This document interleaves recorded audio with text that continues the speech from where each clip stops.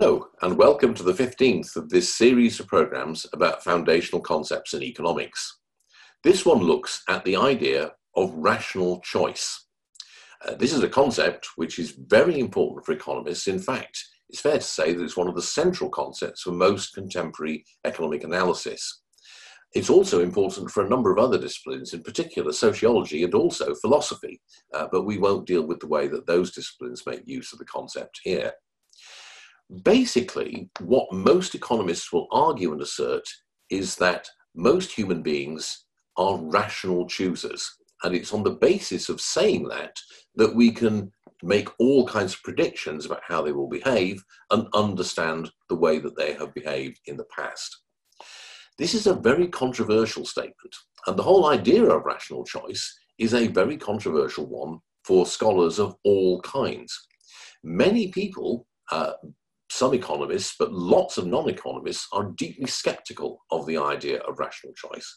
And it's been subject to all kinds of criticism from a whole range of quarters. The arguments typically being that human beings are actually not, in any meaningful sense, rational choosers. Or perhaps that there are certain kinds of outcomes that you simply can't explain using rational choice uh, arguments. It is worth also saying, however, that the concept of rational choice that economists use is widely misunderstood. And a lot of the criticisms that are levied against this concept are actually what are called straw man arguments. In other words, they are attacking a kind of caricature of rational choice that no economist actually believes, rather than the real thing that they do believe.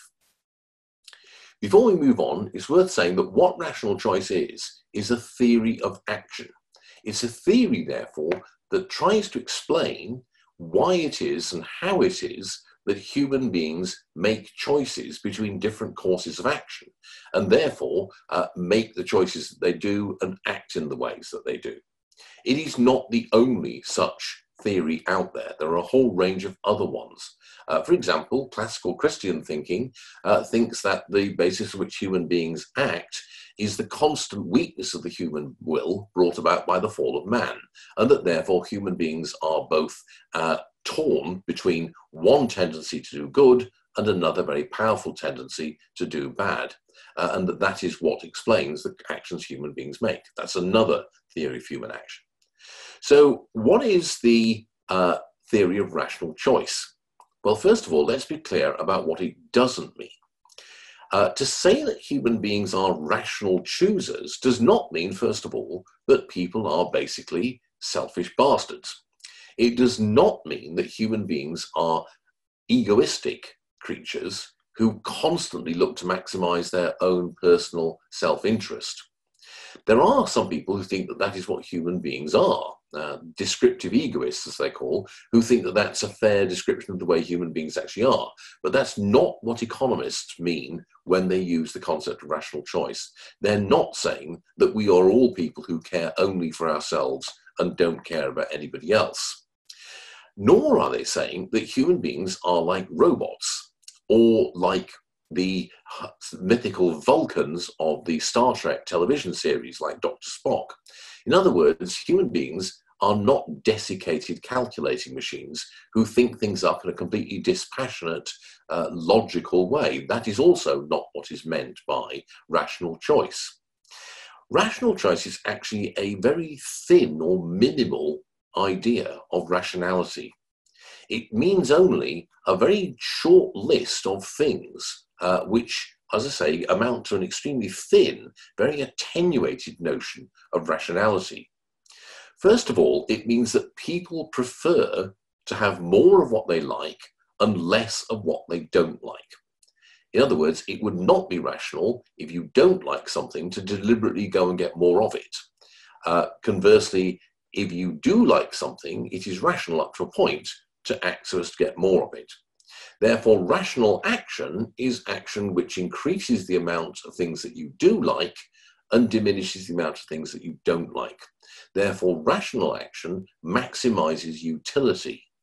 Now, it's important to emphasize here that utility does not necessarily mean material well being, it can mean anything because utility is purely subjective.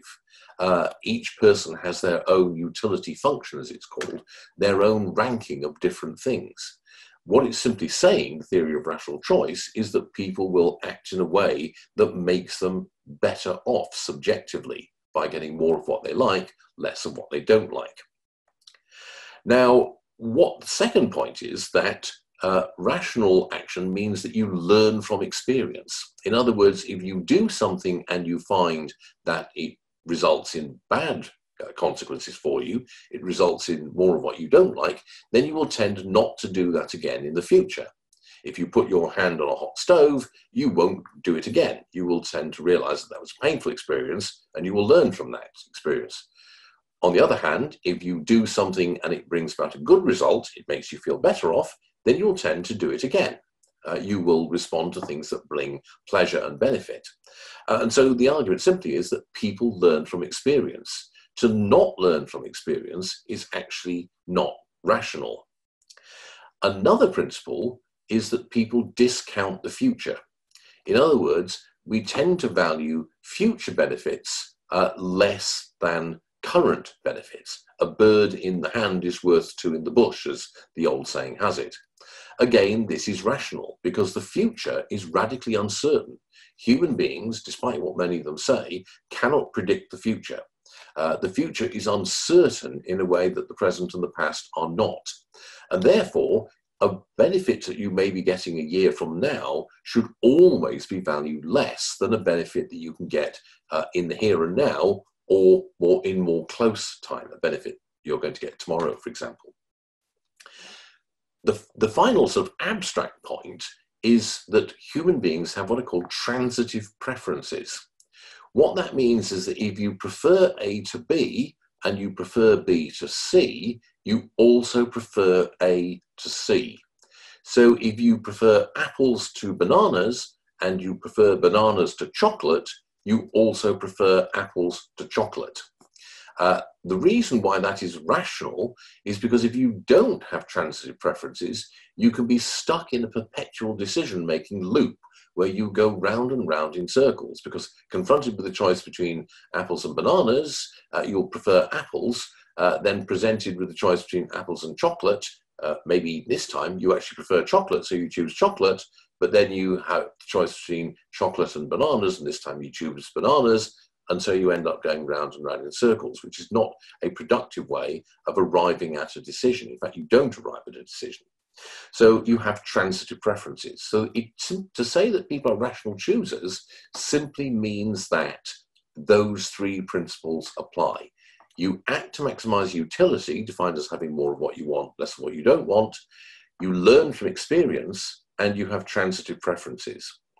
Now, it is worth saying that what economists very often say also is that as a heuristic, people will tend to act to maximize their material well being. In other words, that utility maximization will typically mean, in most cases, that people will act to maximize their material well being. It's a qualification of the first principle. But that is simply a heuristic. It's not an essential or necessary part of rational choice. It's an observation made from looking at how people have actually cho- chosen in the past. You can understand this perhaps through the idea of the hierarchy of needs developed by the psychologist Abraham Maslow, which says that typically people will act first to satisfy material needs such as food, housing, clothing, and the like.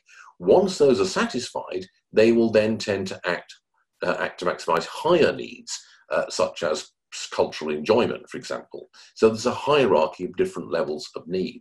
So saying that people will tend to act to maximize material needs doesn't necessarily mean that they're not concerned uh, with other things as well.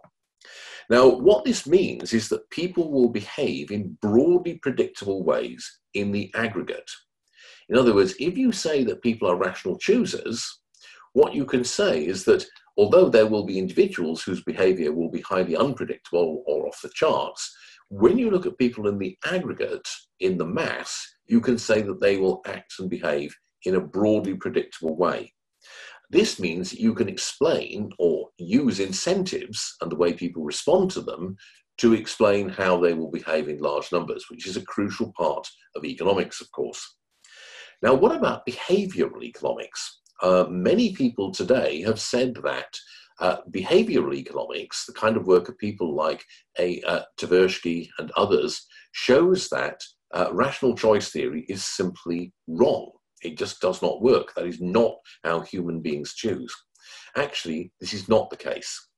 What uh, behavioral economics should be understood as is as a qualification of rational choice theory. Uh, in other words, what it's saying is that yes, people are rational choosers, but you have to qualify that because we also have all these cognitive biases that have been identified, which means that the way we exercise rational choice is influenced or affected in various ways by the kind of hard wiring that we have as a species, for example, to be excessively optimistic. It's not a refutation of uh, rational choice, behavioral economics, because so far, behavioral economics has not come up with an alternative general theory of action. And so, what we should think of behavioral economics as being as a series of qualifications to the general principle of rational choice. But if you're an economist, you really do have to assume that still, even allowing for all those qualifications that behavioral economics has introduced, we are still dealing with rational choosers when we're talking about human beings.